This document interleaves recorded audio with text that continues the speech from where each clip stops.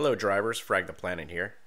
In this video I'm going to give you the settings I used for the Ferrari F8 Tributo 2019 that I used in the Ferrari Circuit Challenge in Gran Turismo 7. If you appreciate short and to the point gaming videos, consider subscribing to the channel.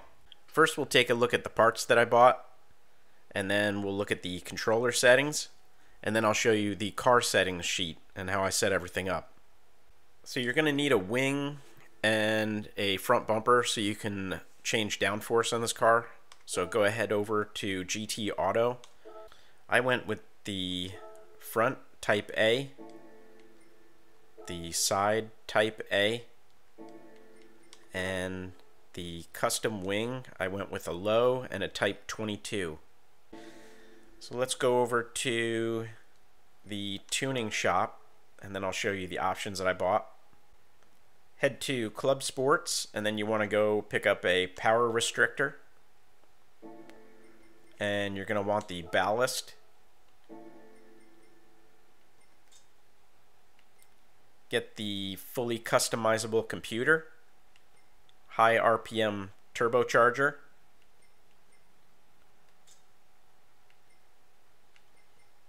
Anti-lag system. Racing intercooler, racing air filter, racing muffler, racing exhaust manifold, racing brake pads, racing brake kit, the brake balance controller, fully customizable suspension, racing clutch and flywheel, the fully customizable racing transmission. Get yourself a set of racing hard tires and racing soft tires.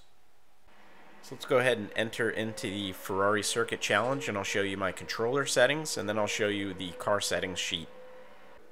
So here's my controller settings. I am using automatic and traction control is set to 1. ABS is default and everything else is off. If you have really good throttle control with your finger or if you're using a steering wheel, you can try setting this to off, but I could not I was having a lot of trouble controlling the rear end of the car, so I just keep it on one. And here's my controller settings. And then let's look at the car settings sheet.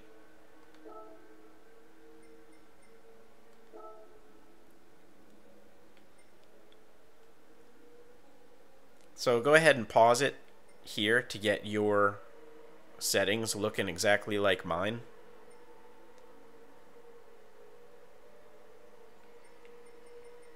So one thing to keep in mind is you're going to have to turn your output adjustment down to 70. And then with the power restrictor, turn that to 82.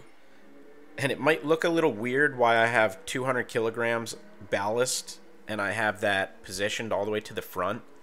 If you look all the way to the left um, under measure it says front rear weight balance. I was having a lot of trouble tuning this car until I until I got the front and rear balance pretty much the same.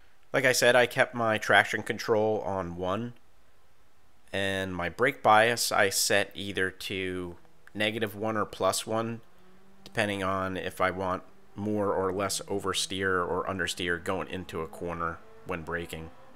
So adjust those settings if you need to.